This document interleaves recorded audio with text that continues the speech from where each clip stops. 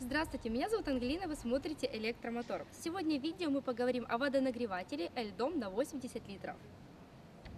В этом нагревателе находится два сухих тена. Это означает, что нагревательный элемент не контактирует с водой. На бойлере установлена очень удобная панель управления. Здесь находятся две кнопочки, с помощью которых вы можете включать либо отключать тены, а также регулировать температуру нагреваемой жидкости.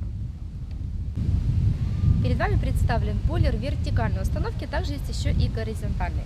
Также присутствуют два режима работы. Первый – это усиленный, когда работают два тена, и экономичный, когда работает один тен. Размер бойлера 825 на 460. В комплектацию входит сам бойлер, коробка, инструкция к применению и обратный клапан. Обратите внимание, что в комплект не входит кабель. Гарантия бойлера 5 лет. Изготовитель Болгария. По всем вопросам обращайтесь к нашим менеджерам компании Электромотор по телефону 53038. С вами была Ангелина, компания Электромотор.